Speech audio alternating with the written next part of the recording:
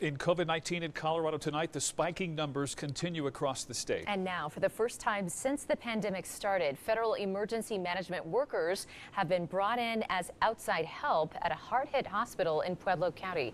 KRDO News Channel 13's Sean Rice explains this new need for outside support.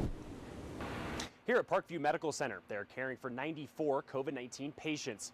In order to give them proper care, 15 healthcare workers from FEMA are being called on to support their existing staff. The circumstances are bad. We are experiencing this because we're 20% less vaccinated than the state of Colorado, and so it's no surprise to us that our increase of cases um, are continuing here in Pueblo. In this letter obtained by KRDO, Parkview told their employees COVID beds are now near capacity.